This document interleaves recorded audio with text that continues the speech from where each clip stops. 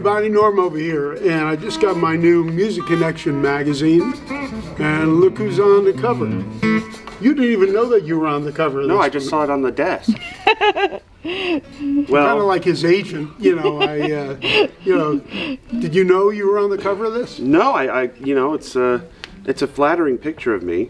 Um, uh, it's the, which is Very rare. good-looking man. which which is rare. A good picture. This is why we use it over and over and over again, because you know a broken watch is right twice a day, and then uh, we, we, we ended up ca- catching a good angle.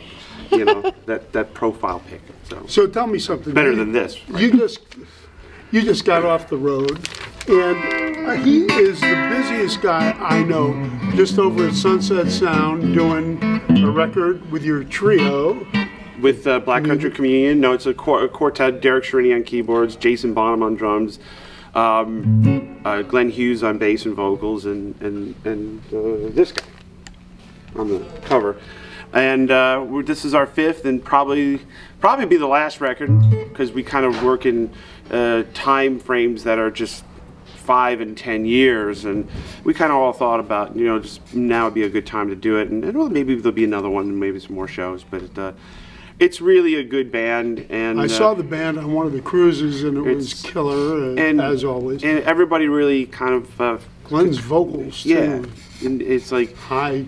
he could he could sing like a bird and you know they, you know he finishes he finishes we all finish each other's sentences in the sense that they you know we complement each other musically you know and and there's there's very little uh, you know it's like I come from more of a blues part Derek's more prog Glenn is classic rock Jason is a wonderful drummer not just in the style of his father but just in in in general I rank him one of the best drummers of all time, you know. And then he could play exact, you know, he knows ev- all his father's stuff too. It's just, but he has his own personality. So that's what we're doing. And I'm buying bar- broadcasters here. So, so Well, this is a guitar. I mean, there's not a lot of guitars that kind of when I sell that I actually get a little tear in my eye and near weep.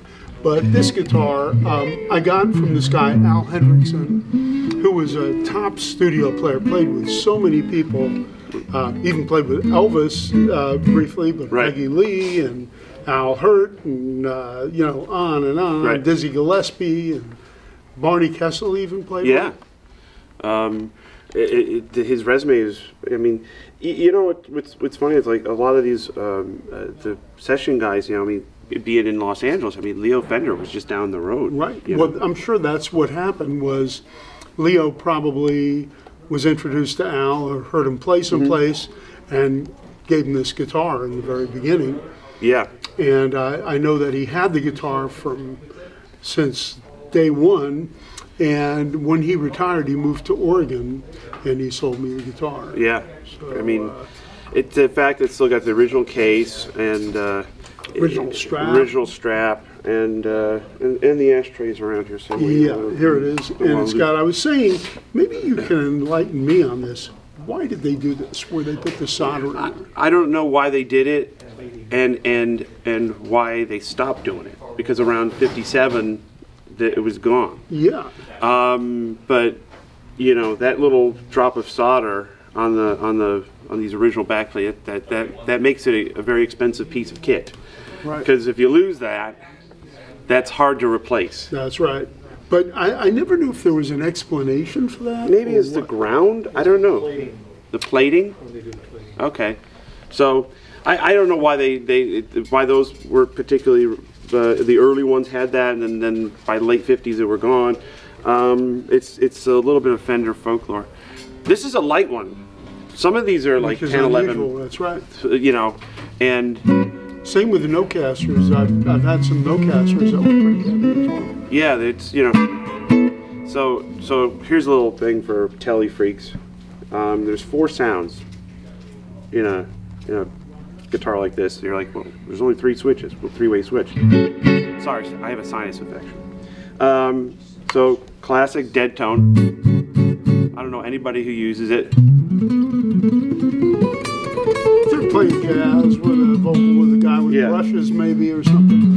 And then if you put it in the middle, it's the front pickup only.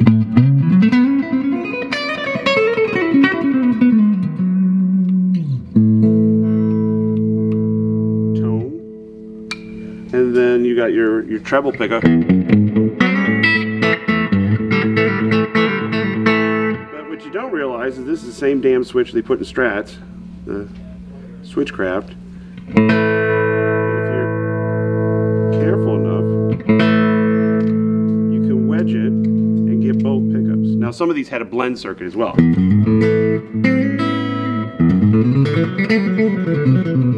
Voila.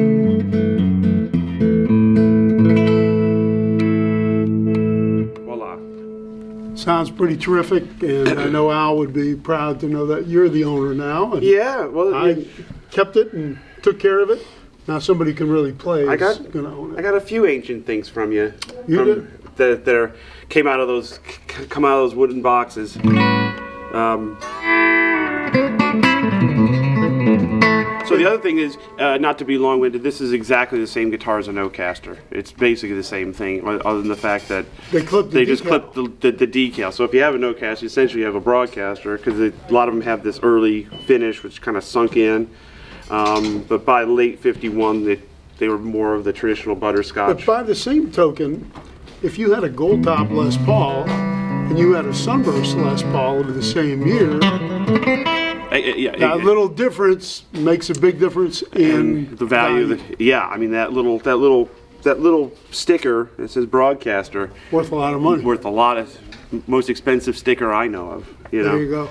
Uh, but you know, it's a piece of Fender history. Plus, it's a 1950. It's not a 51. Yep. It's a 50, which is this is the this is the DNA and the the birth of uh, Fender guitars? Fender guitars, and, and it's funny how you know there's something that was invented 73 years ago is still just as re- Practical. practical and relevant today. So And Joe, by the way, I just wanted to say this is coming over to see the the documentary. documentary, which Joe has uh, got a nice part in that. Thank you so much for doing what you did, and I hope you really enjoy it. We're just getting to the point. It's been three years, and people keep saying, "What's going on with the documentary?" It's like doing a record, where once you start editing, you start going, "Should I leave this in? Should Yeah. I take this out?" And it's very difficult for somebody to say, "That's it."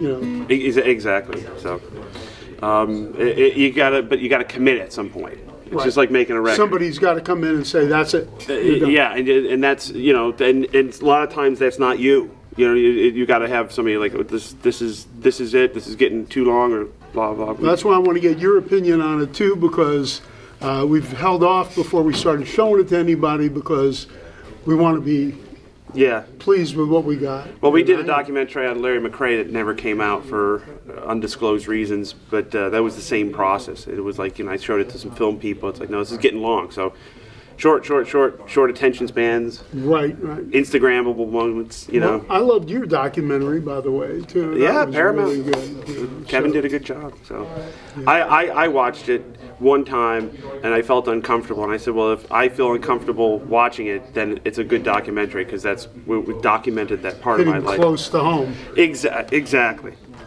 so, all right. Well, I got to go play guitar.